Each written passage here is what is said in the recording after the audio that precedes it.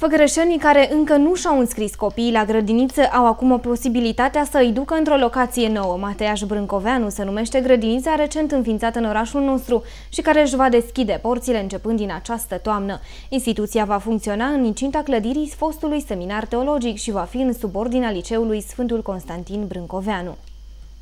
Noul an școlar aduce multe modificări în ceea ce privește învățământul făgărășan. Din toamna acestui an, în municipiul nostru își va deschide porțile un nou liceu. Este vorba de Liceul Teologic Constantin Brâncoveanu, care va funcționa în școala generală numărul 5 de pe strada Negoiu. Și nu este singura noutate. De asemenea, liceul va avea în subordine și o grădiniță cu un program normal, care își va desfășura activitatea în clădirea fostului seminar teologic de pe strada Nicolae Bălcescu.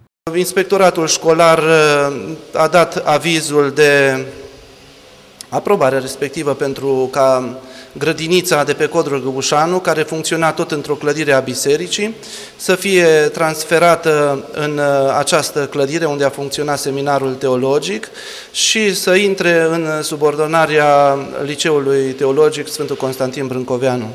Ca și titulatură va fi sub uh, patronajul Liceului Teologic.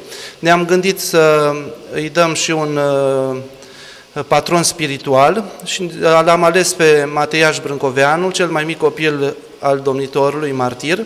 Și pentru ca noua locație să fie cât mai primitoare pentru copiii care vor învăța aici, deja se lucrează intens la amenajarea clădirii.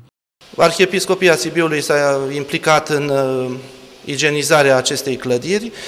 După cum se poate observa, deja au, au început lucrările, o parte din săli sunt uh, renovate, urmând a fi finalizate în scurt timp și celelalte. Deocamdată va funcționa grădinița la parterul acestei clădiri. Înscrierile la această instituție de învățământ se fac până în septembrie, iar pe micuții care vor urma această grădiniță îi așteaptă multe surprize. Pe lângă orele de limba engleză intensiv, ei vor avea ocazia să facă cursuri de informatică, pictură pe sticle și chiar religie. În plus, activitățile în aer liber sunt o prioritate pentru conducerea acestei instituții.